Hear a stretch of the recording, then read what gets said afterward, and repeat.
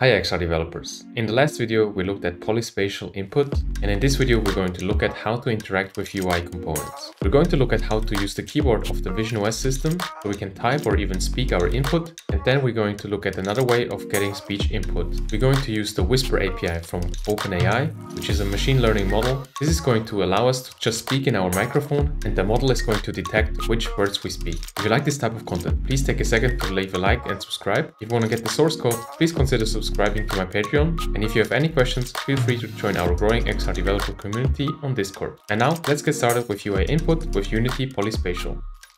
We will start with a new Polyspatial project and go ahead and set up a new scene. I am using the mixed reality app mode for this demo. In this scene, we first add a normal scene camera. We can find a prefab for this in the polyspatial samples. Then, let's add the most important piece, which is the volume camera. For this, we create an empty game object and add the volume camera, as well as the volume camera resize listener component. Make sure to assign a bounded volume camera configuration, which also comes with the polyspatial samples. Then we are ready to add a canvas. Make sure you also have a event system and make sure to replace the standalone input module with the input system UI input module we want to select World Space for the canvas render mode. We then scale down the canvas and then simply add our UI component. Let's just add an input field, a button, and a slider. Let's just scale and position them correctly in our volume, and we are then ready to go ahead and build our project to our device. You can watch my previous video to see how you can set up your device or simulator with Unity and Xcode as well as how to install all necessary packages to create your polyspatial app. Now, on our device, we can see our app.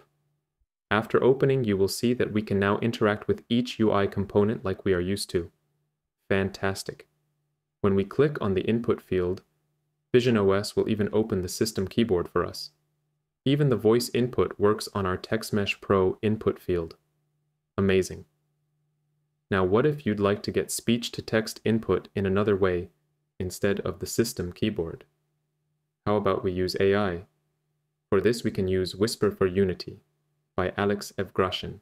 It provides high-performance inference of OpenAI's Whisper automatic speech recognition model running on your local Apple Vision Pro device.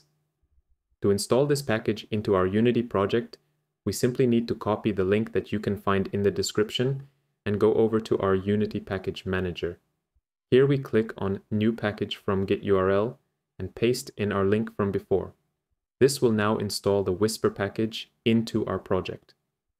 Now to actually use this technology, we need a machine learning model. We will use a model that was converted to a custom binary format. This allows you to pack everything needed into a single file, such as model parameters, filters, vocabulary, and weights, without going into the theory of machine learning too much.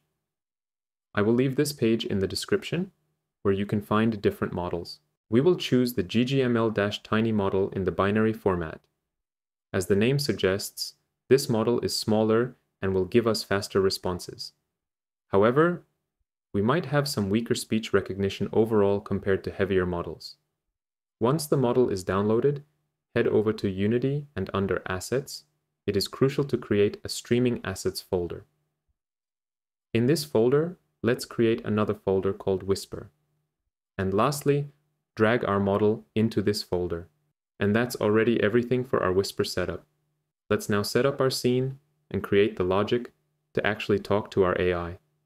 We get started by setting up our Whisper scene in the same way as our last scene, with a scene camera, a volume camera, and a canvas with an event system. On my canvas, I first added a panel, which functions as my background. Then, we need a text field, which will be the transcript of our model, or in other words, the sentences we speak while the model is listening. Next, I created a simple image with a round texture. This image is our VAD indicator. VAD stands for Voice Activity Detection. When we speak, the circle should later turn green, and if not, it should be red. Lastly, we have a simple button which will later start and stop our model. Next, I created an empty game object and attached the Whisper Manager component, which comes with the package from GitHub. This script manages the Whisper model lifecycle in our Unity scene during runtime. As you can see here, if we correctly added our model to the streaming assets folder, it will automatically set the path already. Lastly, let's create another empty game object for our demo. Here I attach a custom script, which we will look at in a second, which is called streaming sample mic. Also, we attach the microphone record component, which also comes with the package installation. This script controls the microphone input settings and recordings, as well as changes the color of our indicator. Let's now look at our custom logic to make this demo work. Firstly, we get a reference to our Whisper Manager and the microphone recorder. Next, we need a button to start and stop the microphone, and a button text. Lastly, we need a text field for our transcript and a reference to our Whisper stream. In the start method, we get a reference to the stream by calling the create stream method from the Whisper Manager and passing the microphone recorder. We can then subscribe to the results coming from our Whisper stream, which we then want to display in our text field. Next, we subscribe to another event, which is automatically called when we stop our microphone recorder. With this callback, we simply set the text on our button back to Start.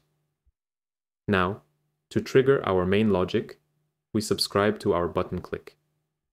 When we click the button and the microphone is not recording already, we start the stream and start recording our microphone. If the microphone was already recording, we will simply stop it. Lastly, we update the text on our button accordingly. Let's now go back to Unity and make sure we assigned all the references in our inspector correctly.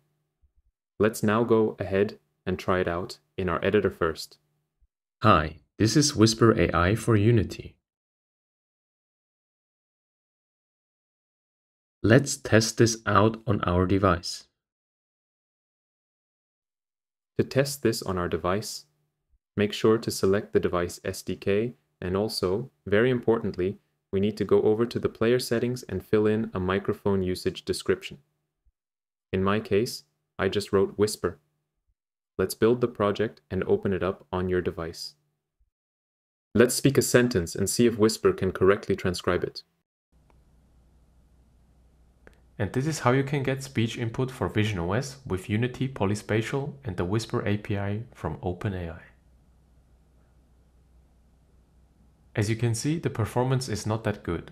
Some words are still wrong, so you might want to try other models.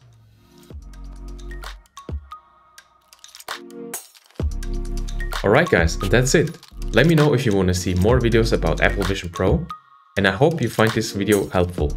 Let me know what you want to see next, and as always, please take a second to like and subscribe, support me on Patreon to get all the source codes, and join our growing XR developer community on Discord. Thank you so much for watching and see you in the next one.